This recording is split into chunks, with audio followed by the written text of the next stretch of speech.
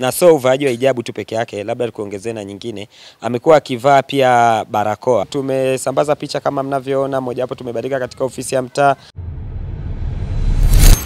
Picha yake imesambaa sehemu mbalimbali hapa mkoani Arusha. Jina lake maarufu anajulikana kwa jina la Dangote. Huyu ni kijana ambaye anatafutwa sana mkoani Arusha na inadaiwa ya kwamba kijana huyu amekuwa na tabia ya kuwajeruhi watu mbalimbali na mpaka hivi sasa inaelezwa kwamba amekwisha kuwajeruhi kwa vitu vyenye ncha kali watu zaidi ya kumi na tano, lakini miongoni mwao watu watatu wamefariki dunia mpaka hivi sasa. Inaelezwa kwamba kijana huyu amekuwa akijificha sehemu mbalimbali, lakini mara nyingi huwa anavaa nguo aina ya hijabu kwa ajili ya kujificha kutokana na kutafutwa kwake.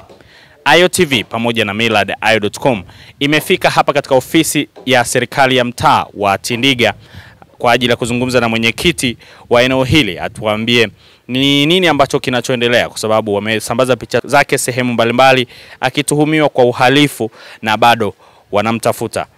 Kwa majina naitwa Abdalla Ali Abdalla, mwenyekiti wa serikali ya mtaa wa Tindiga, kata Unga Limited, halmashauri ya jiji la Arusha. Kinachoendelea kwa sasa ni kumtafuta mhalifu au mtuhumiwa anayefahamika kwa jina maarufu la Ali Dangote ambaye amekuwa akidhuru watu kwa kutumia visu katika jamii na sana sana amekuwa akiwaibia watu simu na pesa. Hivyo tuko katika mkakati wa kuweza kumkamata na kuweza kumpata. Mtu huyu ameleta athari gani kwa wananchi? Kwa sababu inaelezwa kwamba amejeruhi watu zaidi ya kumi na tano, lakini kuna wengine kama watatu wameripotiwa kufariki. Ya, ni kweli ameua watu kama inavyoripotiwa, sema katika mtaa wetu hajaua mtu, hajafanikiwa kuua mtu, ila ameua mtu mtaa wa kanisani kata Sokoni Wani, lakini vivyo hivyo ameua mtu mtaa wa Longdong, maeneo maarufu la Mbugani, ambapo ameweza kuua watu wawili lakini mpaka sasa tumeweka mpango mkakati kwa kushirikiana na polisi jamii wa mtaa pamoja na polisi jamii wa kata kuhakikisha tunaweza kumpata, na mojawapo tumesambaza picha kama mnavyoona, mojawapo tumebandika katika ofisi ya mtaa, lakini vivyo hivyo tumebandika picha katika njia na vichochoro mbalimbali vya mtaa ili wananchi na watu waweze kumfahamu mtu huyo. Huenda watu wengine wamekuwa wakishindwa kutupa taarifa au ushirikiano, aidha kwa kutokumjua au kwa kutokumfahamu. Tukaonelea njia mojawapo ni kuweza kusambaza picha zake ili mtu aweze kupatikana, na sio katika kusambaza picha katika mabango na vichochoro, bali picha zake tumejaribu kuzituma katika mitandao pia ya kijamii na kuweza kuzishare katika magrupu mbalimbali ya WhatsApp ili watu waweze kumfahamu na hatimaye kwa wananchi na raia wema waweze kutupa taarifa pindi watakapomwona. Mtu huyu ame ameshawahi kufikishwa polisi pia, lakini alishawahi kupelekwa magereza na inaelezwa kwamba alitoka. Ya, ni kweli na kumkamata sio mara moja, tumeshamkamata zaidi ya mara tano sita mpaka saba tumemkabidhi kwa jeshi la polisi na amekuwa akipelekwa polisi na kutoka. Hata baada ya kutoka juzi alikuwa yuko magereza na hana muda wa wiki tatu nje uraiani, lakini baada ya kutoka amekuwa akianza kufanya matukio ambaye tunashindwa kujiuliza lengo lake hasa ni nini, lakini pia amekuwa akipelekwa polisi panakosekana ushahidi wa kutosha wa watu wa kuweza kufuatilia kesi hizo, lakini ni mtu ambaye amekuwa na kesi nyingi na tuhuma nyingi, na tulishamkabidhi kwa jeshi la polisi mara nyingi sana. Okay, kijana huyu inadaiwa kwamba mara nyingi amekuwa akijihami hasa kwa kuvaa nguo aina ya hijabu kwa ajili ya kujificha. Mlishawahi kupata pia hizo taarifa? Ta, tumepata hizo taarifa na kwa kuwa tunaendelea na uchunguzi na taratibu na doria nafanyika kila siku, na sio uvaaji wa hijabu tu peke yake, labda kuongezea na nyingine, amekuwa akivaa pia barakoa kwa ajili ya kuweza kuficha sura yake na watu wasiweze kumtambua. Lakini mbali ya kuvaa pia barakoa, amekuwa akivaa masweta maarufu kama pulova, yale mahudi yenye kuweza kufunika uso. Hii yote ni kuweza kuhakikisha wananchi hawawezi kumtambua. Kwa hiyo sio kuvaa tu nikabu na ushungi na hijabu, lakini pia amekuwa akivaa na barakoa na masweta na boshori na kofia, lakini kwa sasa amekuwa akitembea nyakati za usiku tu, kwa sababu ameshaona akitembea nyakati za mchana, picha zake zimesambaa mbalimbali. Kwa hiyo amekuwa na hofu na wasiwasi. Kwa jina naitwa Abdalla, natokea kata hii ya Limited, mtaa wa Tindiga. Huyu kijana ni miongoni mwa vijana ambaye ni watukutu sana ndani ya, kata yetu na jiji kwa ujumla. Huyu kijana ameshafanya matukio mengi sana kuanzia tukio la mwisho nakumbuka alifanya matukio tukawa tunamtafuta alitafutwa sana. Akapatikana akapelekwa polisi mwisho wa siku alikuwa amepelekwa magereza. Lakini kwa habari za ndani za mashuhuda waliokuweko jela kuna baadhi ya watu wako jela wanatoka kila siku. Wanasema kuna taratibu kule jela si za watu wanakwenda kutembelewaga na baadhi ya viongozi.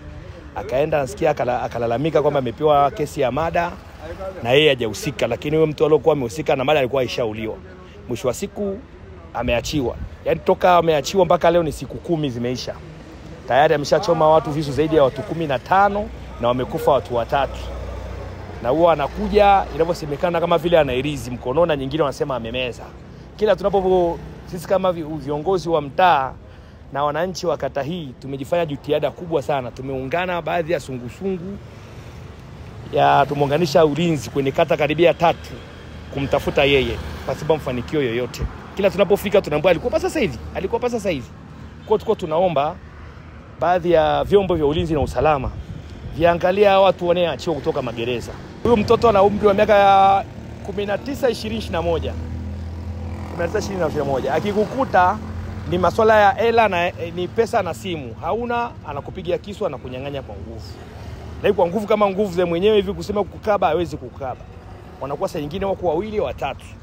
Eh, anakupiga anakupigia kisu na akupiga kisu kimoja. anakupiga kisu cha kwanza, cha pili, wakati umeona una, maumivu, anakusachi, anaondoka. Amesumbua watu kwa muda gani? yani kwa yani huyu mtoto ni, ni muda mrefu sana lakini kwanzia alivyotoka jela mpaka leo ni siku kumi kizimisha ni siku kumi kwanzia ametoka jela mpaka leo hii stori za hijabu ni wanasema ni kuanzia juzi juzi na jana sio alionekana maeneo ya shifa siku juzi wale wadada walionekana amevaa hijabu eh. Kwa hili hivi lakini mara nyingine unakuta anapiga hata pikipiki naendesha pikipiki kwa mwendo kasi sana yani. Aendesha pikipiki ovyo mno. Pia alishawahi kumgonga hata mzee wetu mmoja shehe wetu hapa anaitwa mzee Mkwawa.